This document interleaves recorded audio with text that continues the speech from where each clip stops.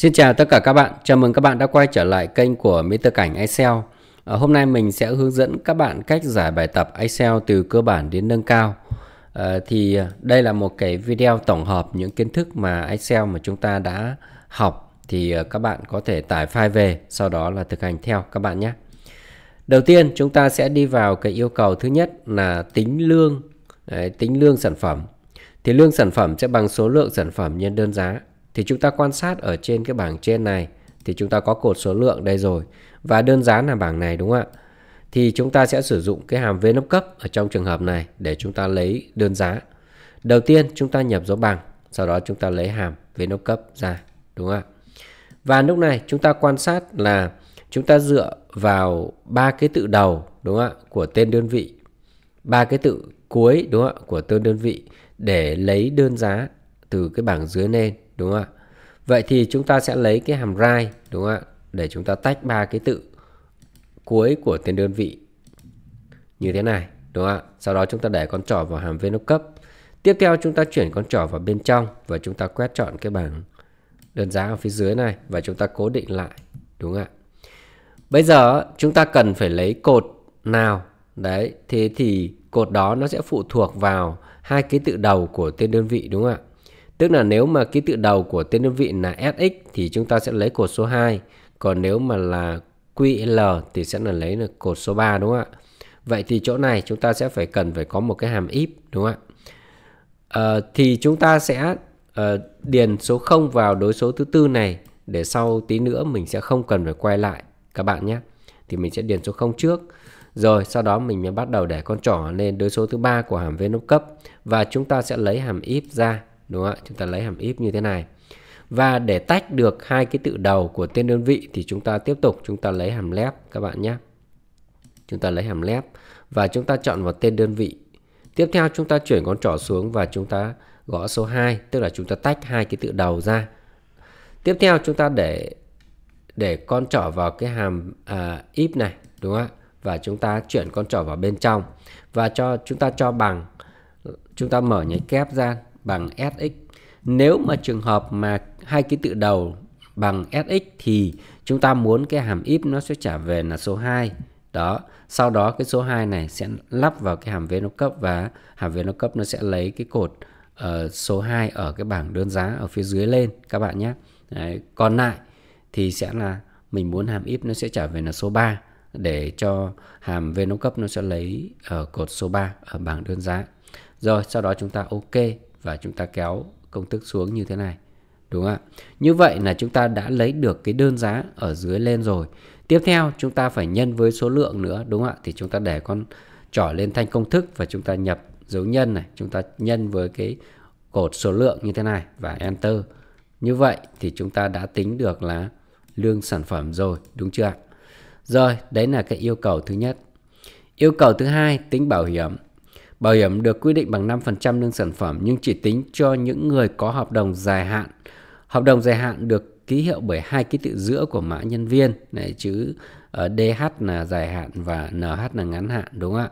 Vậy thì người có hợp đồng dài hạn thì được uh, tính bảo hiểm là 5% của lương sản phẩm đúng không ạ? Thì chúng ta sẽ lập công thức tính bảo hiểm như sau. Chúng ta lấy hàm if đúng không ạ? Nếu mà sao nhỉ? Dựa vào hai ký tự giữa của mã nhân viên, thì lúc này chúng ta lấy cái hàm mid ra, đúng không ạ? Chúng ta lấy hàm mid để chúng ta tách ký tự giữa ra, đúng không ạ? Rồi, chúng ta chọn vào đây. Rồi, chúng ta chọn vào mã nhân viên và chúng ta lấy từ ký tự số 3 đúng không ạ? Đấy, và chúng ta lấy hai ký tự. Sau đó chúng ta để con trỏ vào hàm if đúng không ạ? Rồi, và chúng ta chuyển con trỏ bên trong, chúng ta nhập dấu bằng. Nếu mà bằng DH đúng không ạ? DH tức là dài hạn thì chúng ta sẽ trích bảo hiểm là 5% nhân với uh, lương sản phẩm đúng không ạ? Còn ngược lại thì không thì chúng ta để số 0 ở đây. Thì đây là cái phần bảo hiểm đúng không ạ? Rồi, tiếp theo là chúng ta lấy cột lấy dữ liệu cho cột bậc này, ký tự cuối của mã nhân viên và chuyển sang giá trị số. Lấy dữ liệu cho cột bậc dựa vào ký tự cuối của mã nhân viên và chuyển sang giá trị số à, ký tự cuối của mã nhân viên này bậc này đúng không ạ thế thì chúng ta sẽ tách một cái tự cuối của mã nhân viên ra thì chúng ta sẽ sử dụng cái hàm right đúng không ạ? Chúng ta chọn mã nhân viên và chúng ta lấy một cái tự như thế này thôi. Sau đó chúng ta chọn OK đúng không ạ? Và chuyển sang giá trị số thì chúng ta có rất nhiều cách đúng không ạ? Chúng ta có thể sử dụng hàm value đúng không ạ? Hoặc là chúng ta đơn giản là chúng ta để con tròn lên đây và chúng ta nhân với một Enter. Rồi, sau đó chúng ta kéo công thức xuống là chúng ta đã chuyển được sang giá trị số rồi. Đúng chưa ạ? Rồi, tiếp theo là sang yêu cầu số 4. Lấy dữ liệu cho cột hệ số dựa vào bậc và bảng hệ số. Đây đúng không ạ? Bảng hệ số đây chúng ta cần phải lấy thông tin uh, cho hệ hệ số từ dưới này lên Đấy, dựa vào bậc đúng không ạ?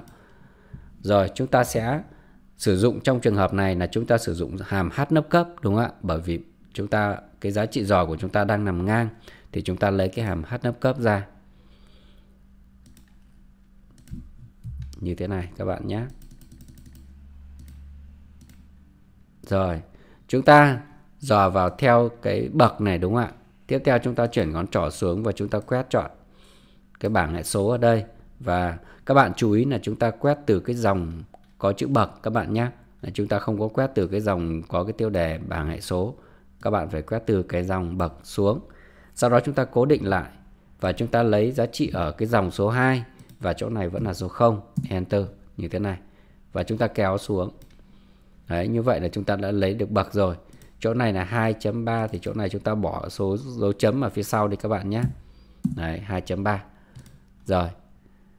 Rồi tiếp theo là chúng ta sẽ sang cái yêu cầu tiếp theo là tính thu nhập đúng không ạ? Nếu bộ, thuộc bộ phận quản lý thì thu nhập là lương sản phẩm nhân hệ số, còn ngược lại thì thu nhập chính là lương sản phẩm, đúng không ạ? Bộ bộ phận quản lý thì chúng ta sử dụng hàm if đúng không ạ? Nếu là có if rồi, nếu này bộ phận mà quản lý đúng không ạ? Bộ phận quản lý thì dựa vào hai ký tự đầu đúng không ạ? Đấy, vậy thì chúng ta sử dụng hàm lép. Chúng ta chọn vào tên đơn vị này, chúng ta lấy hai ký tự. Chúng ta để con trỏ lên hàm if này và chuyển vào bên trong bằng quản lý là QL đúng không ạ? Nếu mà thuộc bộ phận quản lý thì thì sao nhỉ? Thuộc bộ phận quản lý thì thu nhập bằng lương sản phẩm nhân hệ số. Thu nhập sẽ bằng lương sản phẩm này và nhân với hệ số này. Đúng ạ? Rồi. Còn ngược lại thì thu nhập chính là lương sản phẩm, còn ngược lại thì chính là lương sản phẩm. Đó, sau đó chúng ta chọn OK như thế này và chúng ta kéo công thức xuống. Rồi.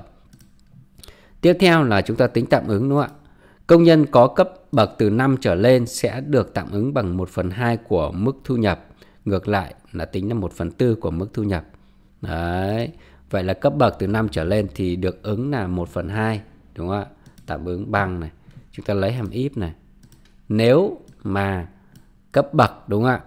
Cấp bậc mà mà sao nhỉ? Từ 5 trở lên, đúng không ạ? Từ 5 trở lên là có nghĩa là lớn hơn hoặc bằng 5 này thì sẽ được ứng là 1 phần 2, 1 chia cho 2 này, nhân với uh, thu nhập đúng không ạ? Được ứng 1 phần 2 của thu nhập. Này, còn ngược lại thì được ứng là 1 phần 4 này, 1 chia cho 4 nhân với thu nhập đúng không ạ? Ok. Và chúng ta kéo công thức xuống. Rồi, vậy là xong cột tạm ứng. Tiếp theo là chúng ta tính thuế này chỉ áp dụng cho những người có mức thu nhập từ 500.000 trở lên và được tính bằng 20% của số tiền vượt trên 500.000. Đúng không ạ? Thuế thì áp dụng thu nhập từ 500.000 trở lên này, thuế bằng này. Nếu đúng không ạ? Nếu mà cái thu nhập này này mà lớn hơn hoặc bằng 500.000 đúng không? Lớn hơn thu nhập mà lớn hơn hoặc bằng 500.000. Đấy. Và được tính bằng 20% của số tiền vượt trên 500.000. Đấy thì sẽ tính là 20% nhân với sao nhỉ? Chúng ta mở ngoặc ra số tiền vượt trên 500.000 tức là lấy thu nhập đó trừ đi 500.000 1 2 3 và đóng ngoặc lại. Đó. Còn ngược lại thì không không tính thuế đúng không ạ? Ngược lại thì không tính thuế thì chúng ta để là số 0, sau đó chúng ta chọn OK và chúng ta kéo công thức xuống như thế này. Đó. Rồi. Nếu chúng ta muốn định dạng này chúng ta bấm vào đây, đúng không ạ? Rồi.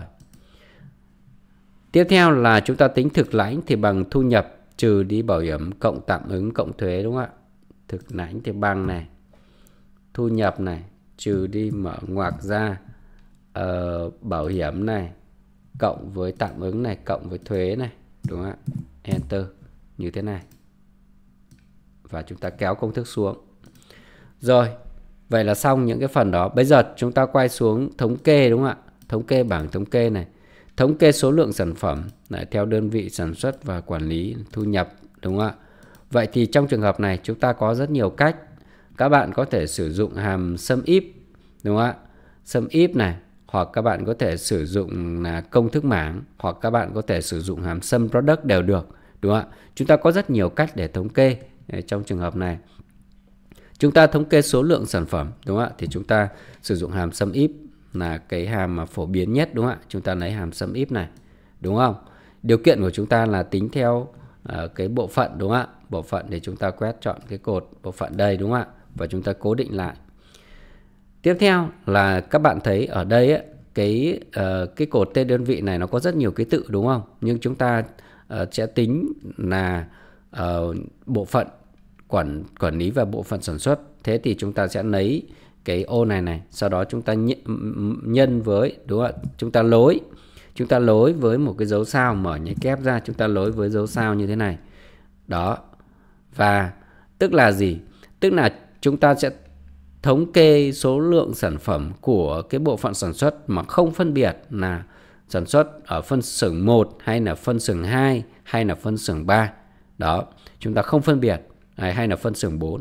Đó, thì chúng ta sẽ chọn vào cái ô đó và chúng ta lối đúng không ạ với một cái dấu sao để để cho Excel nó hiểu là chúng ta chỉ cần quan tâm là uh, thống kê số lượng của sản xuất thôi, không phân biệt là thuộc cái phân xưởng nào cả. Đó. Rồi và cái cột số lượng mà chúng ta cần thống kê đó là cột số lượng đây thì chúng ta quét và chúng ta cố định lại. Tiếp theo chúng ta chọn OK. Đấy, thì đây là cái kết quả của chúng ta. Các bạn có thể làm một cách nào đó mà ra kết quả đúng như thế như thế này là được, nhưng với điều kiện phải dùng hàm đúng không ạ? Rồi và chúng ta kéo công thức xuống như thế này. Đó. Tiếp theo chúng ta tính thu nhập cũng tương tự như vậy đúng không ạ? Chúng ta lấy hàm sum if này. Lấy hàm sum if. Rồi, và chúng ta cũng sẽ quét chọn cột tên đơn vị và cố định lại. Tiếp theo chúng ta cũng sẽ chọn vào ô này và chúng ta lối đúng không ạ? Mở nháy kép ra, chúng ta lối với một cái dấu sao này. Tiếp theo chúng ta chuyển con trỏ xuống và chúng ta tính thu nhập đúng không ạ? Cột thu nhập ở đây và chúng ta cố định lại. Ok. Và chúng ta cũng kéo công thức xuống. Đó. Đơn giản đúng không ạ? Rồi tiếp theo chúng ta thống kê cái bảng ở phía dưới này, thống kê thu nhập cho bảng dưới đây thống kê thu nhập các bạn nhé. Bây giờ là phụ thuộc vào uh, loại hợp đồng dài hạn này, hợp đồng ngắn hạn này, bộ phận quản lý và bộ sản phận sản xuất. Tức là cần thống kê là cái thu nhập của bộ phận quản lý cho những cái người ký hợp đồng dài hạn này. Đấy, bộ phận sản xuất cho những người ký hợp đồng dài hạn và tương tự cho những người hợp, ký hợp đồng ngắn hạn, đúng không ạ? Trong trường hợp này, chúng ta có hai điều kiện, đúng không ạ? Thứ nhất là bộ phận quản lý hoặc sản xuất. Thứ hai là ngắn hạn và dài hạn. Vậy là chúng ta có hai điều kiện. Với trường hợp hai điều kiện này thì các bạn có thể sử dụng hàm sum product hoặc các bạn có thể sử dụng công thức mảng, đúng không ạ? Đó, thì chúng ta sẽ sử dụng hoặc sum if s đúng không ạ? Thì chúng ta sẽ sử dụng cái hàm sum if s là cái hàm phổ biến đúng không ạ? Chúng ta nhập dấu bằng và chúng ta lấy hàm sum if s ra như thế này, đúng không ạ? Chúng ta sẽ quét cái phần tính tổng trước đúng không ạ? Là thu nhập thì chúng ta quét chọn cột thu nhập này và chúng ta cố định lại. Rồi, à, vùng chứa điều kiện thứ nhất, bây giờ mình coi hợp đồng, loại hợp đồng này điều kiện thứ nhất thì chúng ta sẽ quét chọn cái cột mã nhân viên này, đúng chưa? Và chúng ta cố định lại. Rồi điều kiện của chúng ta là dài hạn hoặc ngắn hạn thì các bạn làm như sau. Các bạn mở nháy kép ra, các bạn viết dấu sao, các bạn đóng nháy kép lại. Sau đó các bạn dùng dấu và để các bạn nối với cái ô này Đấy, sau đó các bạn sẽ dùng dấu và tiếp để các bạn nối mở nháy kép nối với một cái dấu sao khác như thế này. Đó. Đó là điều kiện thứ nhất. Điều kiện thứ hai phải là bộ phận quản lý hoặc là sản xuất đúng không ạ? Thì chúng ta lại quét chọn cái cột tên đơn vị này. Đấy, và sau đó chúng ta cố định lại. Tiếp theo điều kiện của chúng ta là bộ phận quản lý đúng không ạ? Vậy thì chúng ta sẽ chọn vào cái cái ô này đúng không ạ? Chúng ta phải cố định nó lại đúng không ạ chúng ta cố định lại và chúng ta lối đúng không ạ mở nháy kép ra nối với một cái dấu sao như thế này đó sau đó chúng ta ok đấy. Các bạn chú ý cái điểm này, các bạn phải cố định nó lại, đúng không ạ? Cố định cái ô này lại. Nếu chúng ta mà không cố định ô thì khi chúng ta kéo công thức xuống, công thức sẽ chạy và kết quả sẽ sai các bạn nhé. Rồi, chúng ta kéo công thức xuống như thế này. Đó. Rồi, tương tự như vậy, đúng không ạ? Chúng ta vẫn sử dụng hàm sum s để thống kê cho trường hợp, cho bộ phận sản xuất này, đúng không ạ? Chúng ta quét chọn cột thu nhập cố định này, đúng không? Chúng ta chuyển con trỏ xuống. Điều kiện thứ nhất vẫn là loại hợp đồng thì chúng ta sẽ quét chọn cột mã nhân viên và chúng ta cố định lại. Đúng không ạ? Và chúng ta sẽ mở nháy kép này, dấu sao đóng nháy kép nối với cái ô này, đúng không ạ? Tiếp theo chúng ta lối mở nháy kép ra, dấu sao đóng nháy kép lại. Rồi, đấy là điều kiện thứ nhất. Điều kiện thứ hai là chúng ta sẽ quét cột tên đơn vị, đúng không ạ? Cố định chuyển con trỏ xuống. Tiếp theo chúng ta sẽ chọn vào cái ô này và chúng ta cũng cố định lại đúng không ạ? Sau đó chúng ta lối với mở nháy kép dấu sao như thế này. Và sau đó chọn ok. Và chúng ta kéo công thức xuống. Đó. Thì như vậy là chúng ta đã hoàn thành được cái cái bài ôn tập như vậy. Bây giờ chúng ta thử kiểm tra xem đúng không các bạn nhé. Ví dụ chúng ta kiểm tra số lượng sản à, bộ phận quản lý này. À, hợp đồng dài hạn bộ phận quản lý là 5 triệu 400 nghìn đúng không? Bộ phận quản lý hợp đồng dài hạn. Thì chúng ta làm thế nào để chúng ta kiểm tra được?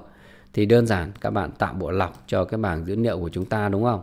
Đấy bộ phận quản lý đúng không? Thế thì chúng ta sẽ lọc ở đây đúng không ạ? Chúng ta viết chữ QL ở đây này QL này enter. Đấy thì nó đã lọc cho toàn bộ bộ phận quản lý cho chúng ta rồi. Rồi tiếp theo là dài hạn đúng không ạ? Dài hạn đấy, số uh, thu nhập đúng không? Thu nhập dài hạn này. Thì là hai cái dòng này đúng không ạ? Hai dòng này là dài hạn này bộ phận quản lý và hai dòng nó là dài hạn. Thì có nghĩa là thu nhập là chúng ta hai cái ô này chúng ta cộng lại. Thì các bạn thấy kết quả là 5 triệu 400 nghìn ở đây đúng chưa? 5 triệu 400 nghìn. Thì chúng ta đối chiếu với cái kết quả của chúng ta chính là 5 triệu 400 nghìn. Đó thì các bạn có thể kiểm tra như vậy các bạn nhé. Thì đây là một cái phần để uh, hướng dẫn các bạn cách uh, ứng dụng những cái hàm Excel mà chúng ta đã học và cách phối hợp chúng với nhau Đấy, để cho các bạn ôn lại kiến thức Excel. Uh, cảm ơn các bạn đã theo dõi và đừng quên đăng ký kênh để cập nhật những video mới nhất các bạn nhé. Uh, xin chào và hẹn gặp lại các bạn ở những cái video tiếp theo.